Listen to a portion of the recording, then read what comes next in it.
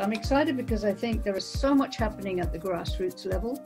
People do want change, but at the same time, there's a huge amount of potential for us to default back to that which is familiar simply because of the depth of this crisis. Yes, there is this big difficulty. How do we get through the storm to the horizon?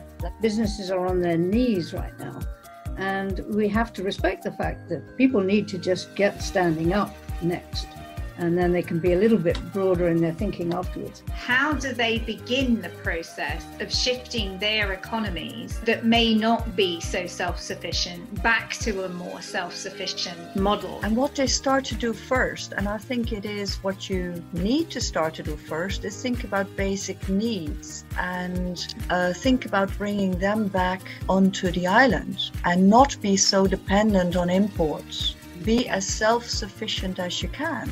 I'm thinking particularly of somewhere like Mallorca that is hugely dependent on tourism, but that has been building small regenerative projects for more than a decade. Food can be a really good way to build the big bridge that we need between natural systems and human systems. Whether you're a region in Sussex or whether you're an island, a regenerative future is one where you have developed that capacity to flourish in the area that you're in, in harmony with the natural world.